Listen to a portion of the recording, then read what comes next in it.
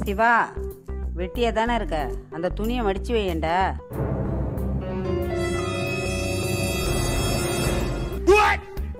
இவ்வளோ துணியா? ம், என்ன பண்ணலாம் ஐடியா.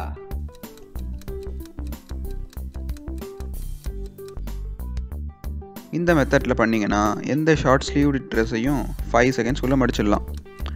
வாங்க இந்த மெத்தடை எப்படி பண்ணுறதுன்னு சொல்லித்தரேன். ரிவைண்ட் ஒரு ஆஃப் அண்ட் ஷர்ட் அல்லது டிஷர்ட்டை எடுத்துக்கோங்க. அதில் ஏபிசின்னு மூணு பாயிண்ட்டை இமேஜின் பண்ணிக்கோங்க. பி பாயிண்ட்டு ஏக்கும் சிக்கும் நடுவில் இருக்கட்டும். அந்த ஒயிட் லைனில் தான் மடிப்பு வரப்போகுது. இப்போ ஏ பாயிண்டில் ஒரு கையும் பி பாயிண்டில் ஒரு கையும் வச்சுக்கோங்க. அடுத்தது ஏலேருந்து சிக்கு கொண்டு போயிட்டு பிஏ உள்ளேருந்து வெளில எழுத்துருங்க அப்புறம் அப்படியே பிளேன் சர்ஃபேஸில் வச்சு அப்படியே பாதியாக மடிச்சுக்கோங்க. வேணும்னா இன்னொரு பாதியாகவும் மடிச்சுக்கலாம். அவ்வளோதான் இந்த சிம்பிள் மெத்தடில் பண்ணிங்கன்னா உங்கள் ஷர்ட்டை லெஸ் தென் ஃபைவ் செகண்ட்ஸில் குள்ளே மடிச்சிடலாம்.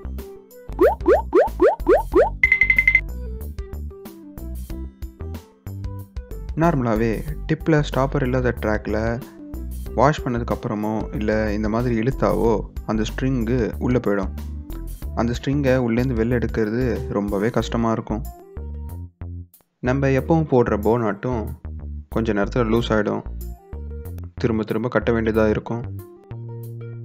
இந்த ரெண்டு ப்ராப்ளத்தையும் சால்வ் பண்ணுற மாதிரி ஒரு நாட் தான் இன்றைக்கி நம்ம பார்க்க போகிறோம் இந்த நாட் பேர் ஃபிஷர்மேன் நாட் அந்த உள்ளே இருக்க அந்த ரெண்டு ஸ்ட்ரிங்கை பிடிச்சி இழுத்தா லூஸ் ஆகிடும் அந்த டிப்பை பிடிச்சி இழுத்தீங்கன்னா டைட் ஆகிடும் இந்த நாட்டை ஒன் டைம் போட்டு வச்சிட்டாலே போதும். திரும்ப திரும்ப போட வேண்டிய அவசியமே இல்லை.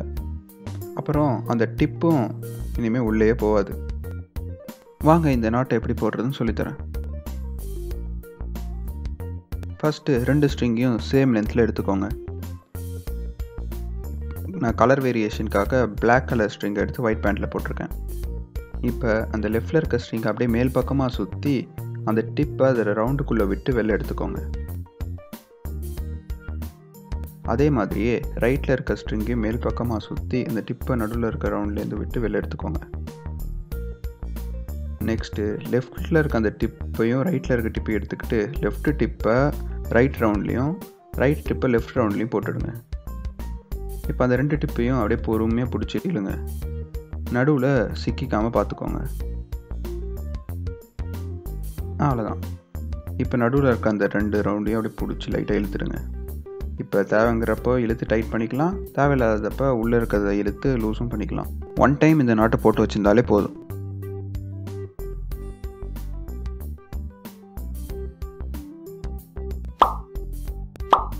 மா நான் வெளில போயிட்டு வரேம்மா. அந்த ஷூ லேஸை கட்டிட்டு போடா. அவ்வளோதானே வெறும் டூ செகண்ட்ஸில் கட்டிடுவோம் பாருங்கள்